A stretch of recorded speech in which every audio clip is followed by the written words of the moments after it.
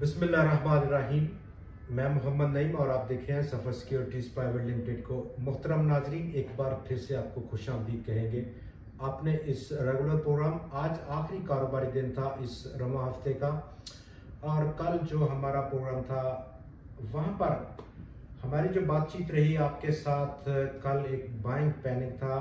और अनफॉर्चुनेटली आज जो कल बाइंग पैनिक देखा गया, उसका तसलसल आगे नहीं बढ़ पाया। इंट्राडे हंड्रेड एक्स ने ज़रूर एक सौ निन्यानवे पॉइंट्स का इजाफा किया।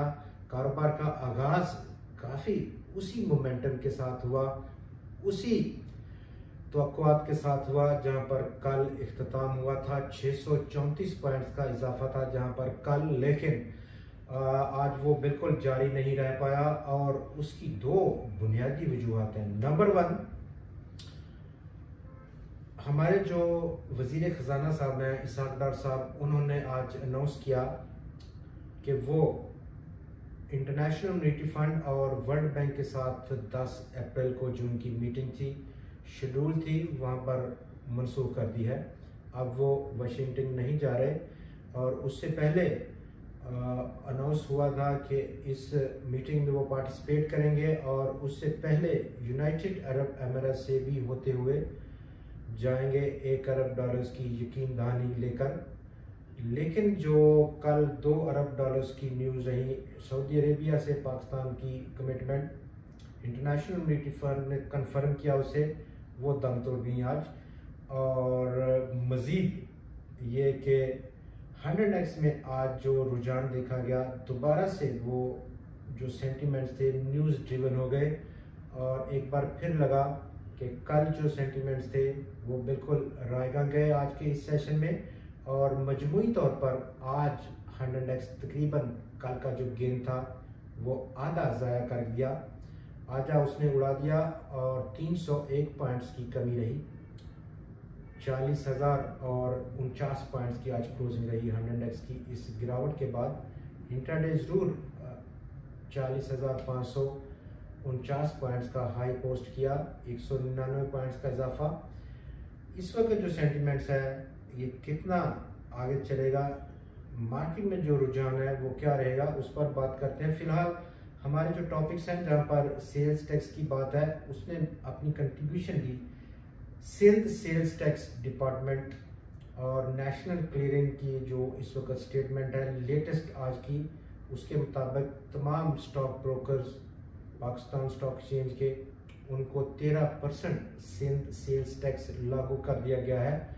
और अप्रैल 7 अप्रैल यानी कि आज से आ, उसकी जो कलेक्शन है वो होगी। और वो कलेक्शन होगी मार्च का महीना। उसमें जो सेल्स टैक्स लगा है तेरह परसेंट उसकी कलेक्शन आज की सेटलमेंट पर होगी।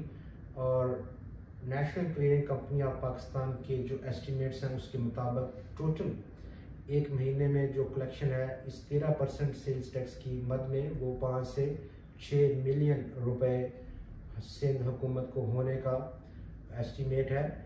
ये वो दूसरी बड़ी मेजर न्यूज़ थी जिसने आज रोल प्ले किया। आज की इस गिरावट में और कल का जो मोमेंटम था, उसको तोड़ने में बहुत अहम किरदार था। सात अप्रैल, यानी कि आज से ईद की छुट्टियों तक बलूचिस्तान व्हील्स ने अपनी प्रोडक्शन को बंद कर दिया और उसने कहा कि तमाम जो उसके कस्टमर्स हैं, उनके, वो सेल्स आर्डर नहीं ले रहे। बंद कर दिए उन्होंने और प्रोडक्शन रोकनी पड़ी है इस हवाले से।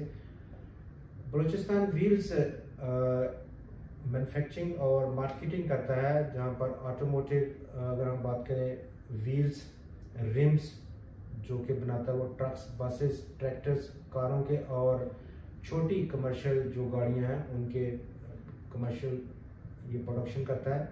अब ईद के बाद दोबारा से प्रोडक्शन बहाल होगी डिपेंड करता है कि सिचुएशन तब क्या रहती है।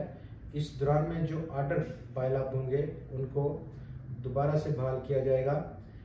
दूसरे नंबर पर तेज़ी का जो मोमेंटम है वो फ़िलहाल रुकता हुआ नज़र आया खास तौर पर टेम्परेरीली हंड्रेड एक्स का इस वक्त जो टेक्निकल चार्ट है, वहाँ पर लोअर साइड पर बात करें तो एक अच्छा सपोर्ट इस वक्त जो इब्तदाई है वो उनतालीस हज़ार सात सौ इक्यासी, उनतालीस हज़ार आठ सौ पॉइंट्स की सतह पर मरकूज है।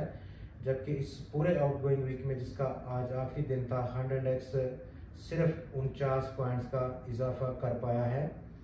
ये एक पॉजिटिव साइड है इस पूरे हफ़्ते की कारकर्दगी की हंड्रेड एक्स की। ओवर द वीकेंड किस तरह का रुझान रहेगा? न्यूज़ का, खबरों का, खासतौर पर पॉलिटिकल साइड पर जो इस वक्त बहुत हाइपर टेंशन है, बहुत ज़्यादा अरूज पर है पॉलिटिकल पारा पाकिस्तान में, वहाँ पर क्या रहेगा? और मंडे को हम वैसा ही हंड्रेड एक्स का रिएक्शन देखेंगे, वैसा ही बिहेवियर देखेंगे जिस तरह का न्यूज़ का फ्लो रहेगा। इब्तदाई यही फोरकास्ट है कि हंड्रेड एक्स उनतालीस हज़ार आठ सौ उनतालीस हज़ार सात सौ अस्सी पॉइंट्स की सतह पर सपोर्ट पाने में कामयाब होगा। जबकि एक बहुत बड़ा और major support level hundred X का जो इस वक्त मौजूद है, वो उनतालीस हज़ार चार सौ निन्यानवे पॉइंट्स की सतह पर है। आज मजमू तौर पर जिन स्टॉक्स ने कल मुस्बत पार्टिसिपेट किया था, उन्होंने गिराने में भी आज उतनी ही तेज़ी से मैदान में आए, जैसा कि O G D C Engro corporation Pakistan petroleum hub power company lucky cement systems limited T R G Pakistan Engro fertilizer और मारी पेट्रोलियम इन तमाम नौ स्टॉक्स ने कुल मिलाकर 204 पॉइंट्स की गिरावट दी हंड्रेड डेज़ को आज के दिन। वॉल्यूम्स में अगर हम देखें तो आज जो आज की जो बैटल है, उसमें जो स्ट्रेंथ है, वो डिक्लाइनर्स की जानब रही।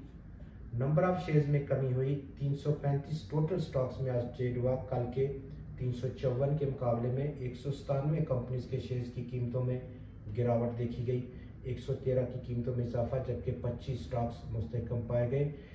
16 करोड़ पचहत्तर लाख शेयर्स का टोटल आज कारोबार हुआ मार्केट में, जिसकी मालियत चार अरब रुपया थी। कल 22 करोड़ और 14 लाख शेयर्स का काम था बाज़ार में और उसकी मालियत तकरीबन सात अशारिया दो अरब रुपया रिकॉर्ड की गई थी। मंडे को एक बार फिर से आपसे मुलाकात होगी।